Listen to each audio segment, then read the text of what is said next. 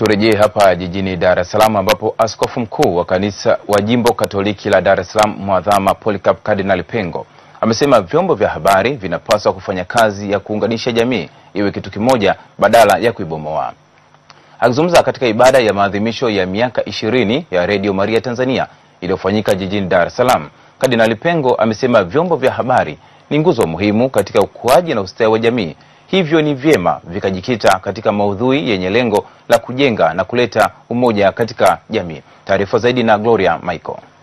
Umewaalika na wameitikia mwito wa kuwa pamoja nasi. Mamia ya Wakristo katika kituo cha Msimbazi jijini Dar es Salaam wakisikiliza ibada ya misa, ibada ambayo imehudhuriwa na rais mstaafu wa awamu ya tatu Benjamin Mkapa pamoja na spika wa bunge mstaafu Anna Makinda ambaye pia ni mgeni rasmi katika maadhimisho ya miaka ishirini ya utume wa Radio Maria Tanzania.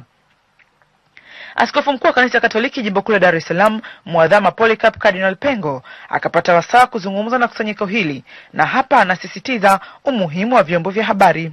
hata tukiweza tungeliweza kudevelop eh, television Maria iwe ni ile inayounganisha badala ya kugawa.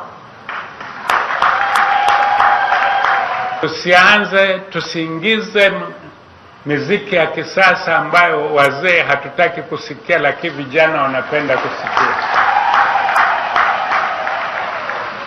Akisoma risala kwa mgeni rasmi, rais wa Redio Maria Tanzania Humphrey Kira amesema redio za jamii hasa za kidini zinakabiliwa na changamoto ya idadi ya vituo vya kurushia matangazo.